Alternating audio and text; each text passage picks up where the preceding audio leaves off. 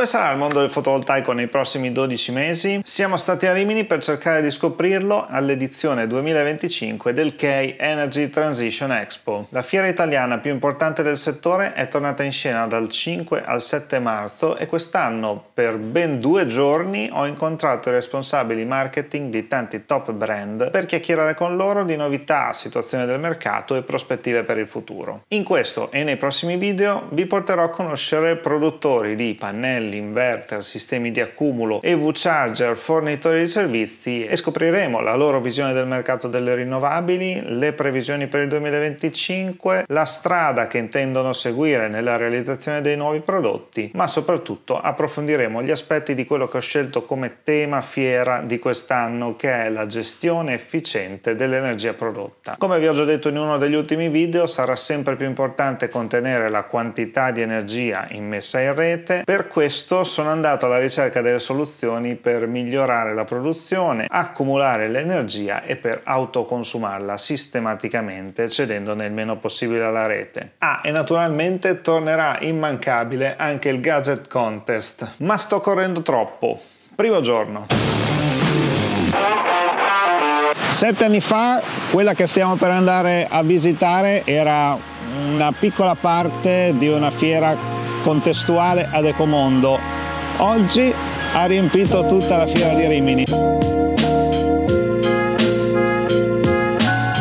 Il tema di quest'anno del mio video della fiera è la gestione dell'energia prodotta dall'impianto, quindi non tanto i componenti per produrre l'energia quanto i sistemi per eh, sfruttarla nel modo migliore. Benvenuti a KE 2025. È mercoledì mattina, quindi è il primo giorno di fiera per tutti. Questa prima parte della giornata ce la prendiamo comoda per curiosare un po', per iniziare ad orientarci e poi io mi devo un attimo abituare alla compagnia della troupe di Data Driven Solution che quest'anno mi assiste evitandomi quelle drammatiche inquadrature calanti di fine giornata. Mi sono proprio imborghesito quest'anno, come ha detto Calabrò. Cos'è questo che sembra un enorme lettore CD per i millennial come me? Il Days Box C è una stazione di ricarica, ne parliamo sul mio canale proprio perché è uno strumento complementare al fotovoltaico. Perché parliamo di mobilità elettrica? La convenienza della mobilità elettrica è appunto nell'autoproduzione, quindi nella produzione con il fotovoltaico. Avere un'auto elettrica senza avere il fotovoltaico è paragonabile ad avere un'auto classica perché dovete comunque andare al distributore di energia elettrica e non di benzina, però insomma il concetto è lo stesso cambia il paradigma avere un impianto fotovoltaico perché evitate di andare a comprare l'energia, il carburante, tra virgolette, da qualcun altro. Parlando di mobilità elettrica, ragazzi, non possiamo non parlare di Tesla, ovviamente. Le due novità di quest'anno sono la Model Y, che si commenta da sola, ma la cosa importante per il nostro canale è la Powerwall 3. Powerwall 3 che diventa non solo una batteria AC ma un sistema all-in-one con anche l'inverter per il fotovoltaico. Quindi abbiamo modo di usare solo questo e avere un impianto fotovoltaico completo. Entriamo direttamente in questo case con l'uscita dei pannelli e con la rete AC e dentro abbiamo modo di accumulare 13 kWh un sistema all-in-one ovviamente conforme alla CE 021, quindi è utilizzabile in qualsiasi utenza in bassa tensione. Grande lavoro di Tesla sicuramente anche per ridurre le dimensioni perché 13 kWh e mezzo più l'inverter in queste dimensioni è sicuramente un grande lavoro in uh, un metro e uno per 60 cm per 193 è veramente piccolissimo rispetto a, ad altri sistemi. Un ottimo prodotto, sicuramente un ottimo design, le specifiche tecniche le vedremo magari in, uh, in studio.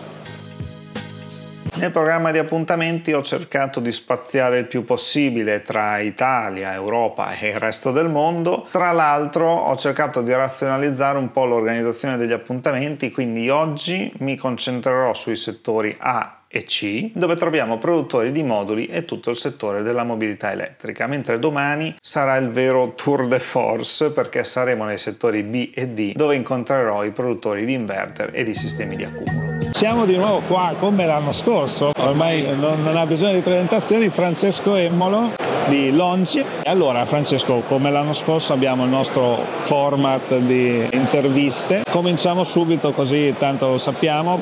Presentazione del brand allora, innanzitutto grazie di nuovo Andrea, bentornato. Il brand spero che non abbia bisogno di presentazioni lunghe, Longi è il produttore di moduli più innovativo al mondo, diciamo, siamo leader tecnologici ormai diciamo universalmente riconosciuti da anni, tutte le ultime innovazioni tecnologiche, perdonami, introdotte nel nostro settore lato moduli sono riconducibili a Longi. Siamo stati i primi a muoverci sul monocristallino, i primi primi a utilizzare i moduli bifacciali e adesso siamo i primi ad avere back contact su scala multi gigawatt.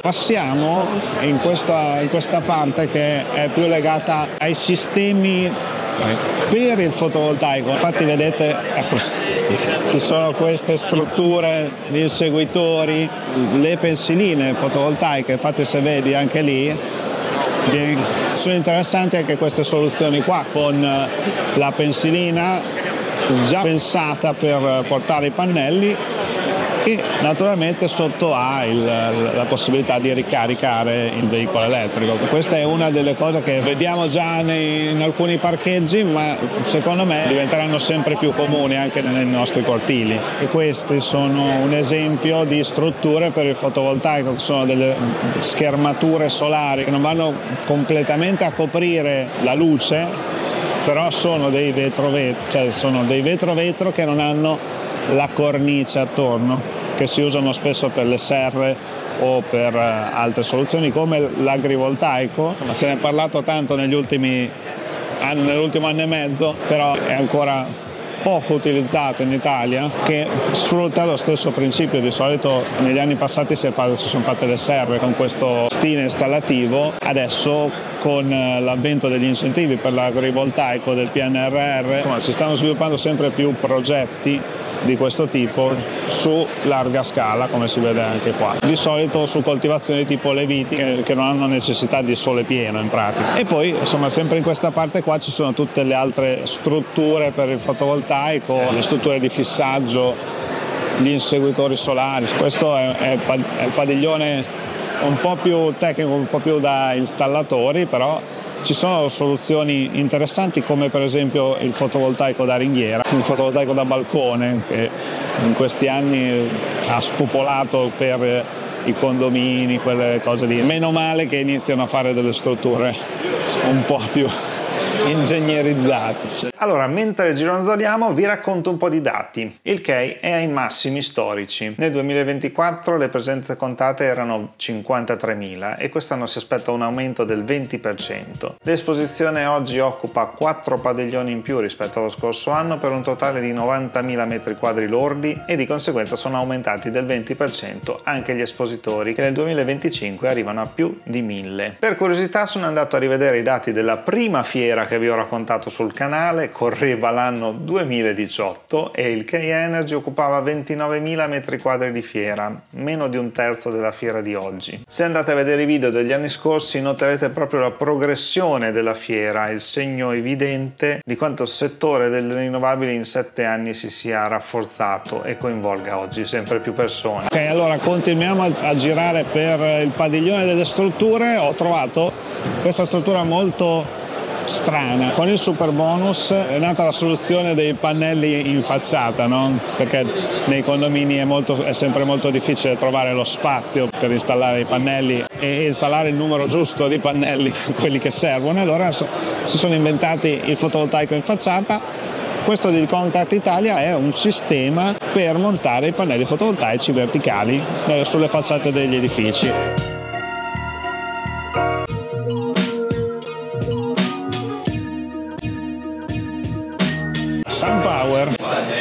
Questi sono di nome i moduli più efficienti al mondo. Siamo qui al loro stand per scoprire il Maxeon 7 che supera il 24% di efficienza, quindi un modulo che a parità di dimensione rende di più perché quello è, è, poi il concetto di avere un'alta efficienza di modulo. Leggo adesso con voi 40 anni di garanzia, cioè una garanzia lunghissima, diciamo oltre eh, forse 10 anni più della media, 10-15 anni più della media. Qual è la durata media di un pannello? Nessuno lo sa in realtà, la durata effettiva di un pannello solare quello che sappiamo sono le garanzie, gli anni in cui il produttore garantisce la, l'integrità del pannello, l'efficienza del pannello, il calo lineare dell'efficienza del pannello e in questo caso siamo davanti a un top di gamma. Qua c'è l'inverter, il sistema SunPower per la conversione, diciamo, l'inverter e le batterie. Inverter molto interessante perché è in grado di interfacciarsi con la smart home, che è sicuramente il futuro, cioè è la direzione che il fotovoltaico deve seguire per riuscire a coordinare produzione e consumo. Il fatto di riuscire a interfacciarsi con un sistema di gestione smart è sicuramente qualcosa di molto importante. Perché è importante questa cosa? Perché fino all'anno scorso la maggior parte degli, dei sistemi aveva il proprio meter, il proprio sistema di monitoraggio e in base a quello che rilevava il suo sistema di monitoraggio gestiva l'inverter, ok? Sto consumando 10, accendo l'inverter oppure scarico la batteria. Coordinandosi con una smart home, l'inverter è molto più efficace, l'inverter può sapere quasi in anticipo come comportarsi. E so che c'è la lavastoviglie Samsung che è programmata alle 3, alle 2.59 eh, inizio a scaricare la batteria per eh, avere il massimo della copertura del consumo. Quindi ecco perché secondo me tutti i costruttori di inverter dovrebbero puntare anche su questo interfacciamento sull'Internet of Things in pratica. Allora, siamo qui allo stand di SunPower. SunPower è uno dei maggiori produttori di pannelli ad alta tecnologia e siamo qui con Fabio Bacchin. Sono il direttore commerciale Italia e anche uno degli amministratori della SunPower Italia. Faccio questo lavoro dal, dal 2007 ed è una vera e propria scelta di vita, ecco, diciamo. Credo fortemente nel rinnovabile. Presentaci SunPower in un minuto. SunPower non è solo produttore di moduli, ma è produttore di, di celle. Siamo nati 40 anni fa quest'anno celebreremo i 40 anni di vita. 40 anni che è esattamente la garanzia che diamo anche sui nostri migliori prodotti. Siamo pionieri lato tecnologia, ma siamo dei pionieri anche lato modello di business. Abbiamo un modello rete partner, quindi cerchiamo e selezioniamo i migliori installatori del mercato per dare il miglior prodotto ai migliori installatori. Questo vuol dire trasmettere al cliente finale la migliore esperienza.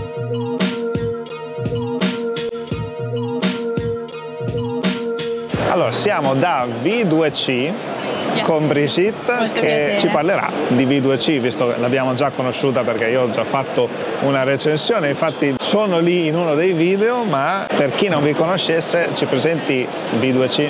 Assolutamente, allora io appunto sono Brigitte e mi occupo del commerciale Team Italia. V2C è un'azienda spagnola che è nata ormai nel 2012 e che diciamo in questi anni si sta consolidando anche nel mercato italiano.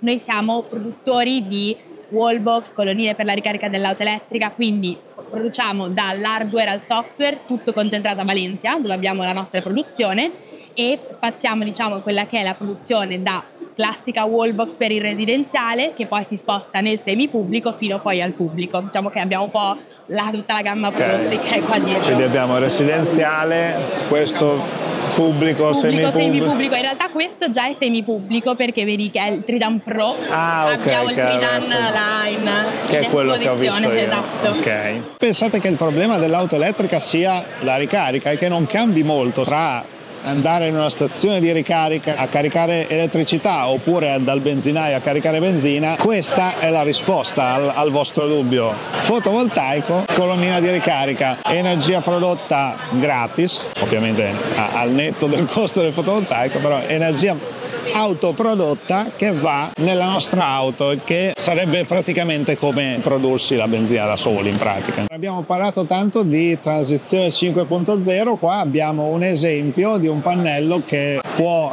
accedere al contributo della transizione 5.0 è un pannello Paymar che è un'azienda italiana che presto vi porterò a visitare, andremo anche a vedere proprio dove viene prodotto questo modulo. Adesso non riusciamo ad avere un addetto marketing pronto perché effettivamente c'è tanta affluenza in questo stand, eh, però Paymar oltre ai pannelli prodotti in Italia fa anche un sacco di altre cose, per esempio l'inverter, partiamo dall'inverter, questo è l'inverter industriale, quelli sono inverter un po' più, più portati al residenziale, inverter monofase, inverter trifase, i micro inverter, vieni che ti faccio vedere, questi sono dei micro inverter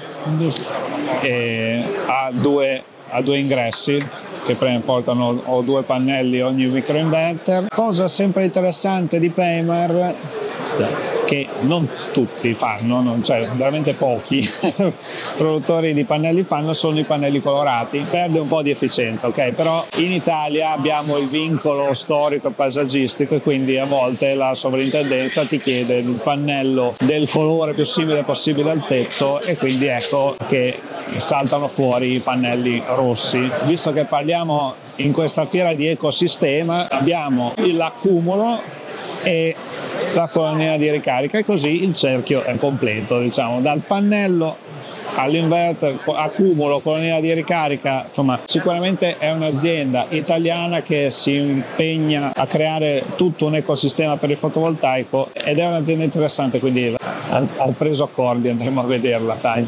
Questo primo giorno sicuramente ha riconfermato le mie aspettative sulla fiera che ho trovato già con una grande affluenza di pubblico. Infatti oltre agli addetti ai lavori ho visto tanti ragazzi e persino qualche bambino, accompagnato dai genitori ovviamente, piccoli innovatori crescono. Che dire della giornata di oggi? È sempre rassicurante trovare in ottima salute i brand storici come Longi e ritrovare marchi iconici come SunPower anche dopo le complicate vicende societarie dell'ultimo periodo, che poi ho scoperto essere più anagrafiche che altro, ma è una storia complicata. È stato molto interessante anche sconfinare nel mercato delle stazioni di ricarica elettrica, perché abbiamo approfondito la conoscenza di strumenti che possono alzare di molto il ritorno economico del vostro investimento nel fotovoltaico. Arriverei a dire che una stazione di ricarica privata non ha senso senza fotovoltaico e che il fotovoltaico perde un 30% del suo potenziale valore se non lo sfruttate per ricaricare la vostra auto. Infatti credo che comincerò a parlare più spesso sul canale di questa tecnologia. Non perdetevi il video della seconda giornata perché come vi ho detto sarà pieno pieno pieno di incontri, quindi cliccate su iscriviti se non l'avete ancora fatto e non dimenticate di visitare il mio sito andreapiccinelli.net per progetti, pratiche, assistenza e formazione sugli impianti fotovoltaici anche con i listini ufficiali. Cliccando qui a sinistra in alto continuerete la playlist dedicata al KEI 2025, mentre qua in basso potete entrare nella serie delle mie recensioni dei prodotti. Grazie come sempre dell'attenzione e un saluto da andreapiccinelli.net.